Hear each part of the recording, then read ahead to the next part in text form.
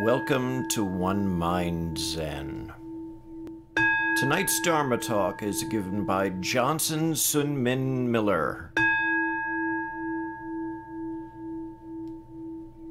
Huineng tells us, well, you know, he, he likes uh, uh, he likes reversals and very much like uh, like Siddhartha himself, like to take uh, you know uh, traditional traditional things and or flip them around, give them new meanings and uh, definitions in order to uh, shift people's uh, thinking or undermine people's thinking.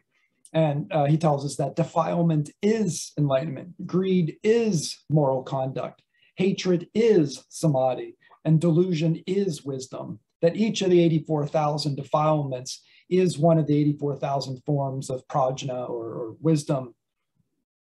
Um, and this, um, I, I find this meaningful in a very, uh, very practical sort of way in terms of, of my practice.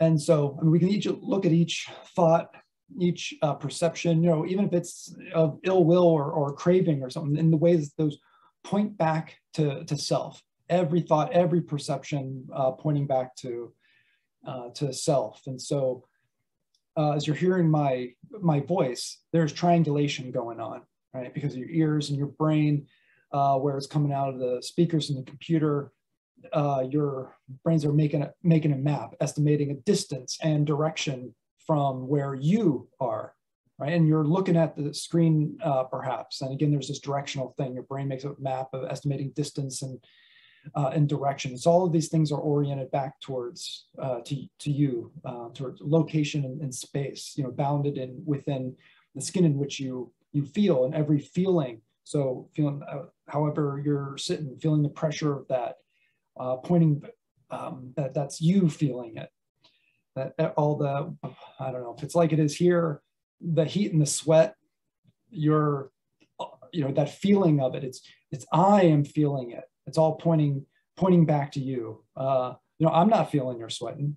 You know, just you're doing that. And so there's this profound sense of, of I-ness that emerges uh, from this. There's no reason, there's, it's no wonder we think we exist uh, with all of that going on, everything pointing back uh, to self. But in doing that and watching every one of those uh, perceptions or uh, feelings, thoughts, so that greed, that hatred, defilement, watching those arise is a revealing of the emergence of self, right? With every perception, every thought, it's saying me, it's saying I, building up that self is emerging in each moment, merging, dropping back down, emerging, dropping back, um, the, dropping back in, into itself. And so which, with each thought, each defilement, feeling of greed, thought of hatred, all of those, um, building up this sense of self right there in front of us. Um, and so we can watch that revealing happen. We can watch that construction of self happening. Every thought of greed is a, an opportunity to see then the emptiness of self. And so each thought, each feeling is an opportunity to watch the arising of the 10,000 things emerging from Tao, uh, to see the emptiness of things. And, and Hui Neng says this in chapter two there, that it is when we see from such emptiness that we experience prajna, that sort of innate wisdom that comes from acting or speaking or, or being from that emptiness. In one of his poems in there, he, he says, uh, when all views right or erroneous are discarded, then the essence of Bodhi appears. So we watch each thought, perception, uh, without any reaction or judgment.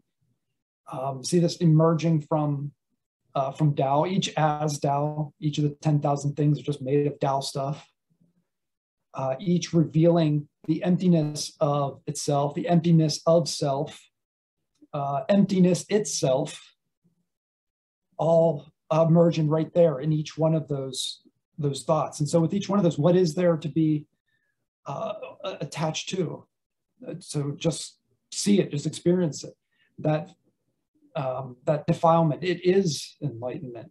That feeling of greed is moral is is enlightenment that feeling of hatred is enlightenment that delusion is enlightenment. It all is, uh, it all is prajna. It all, uh, it all is. Thank you.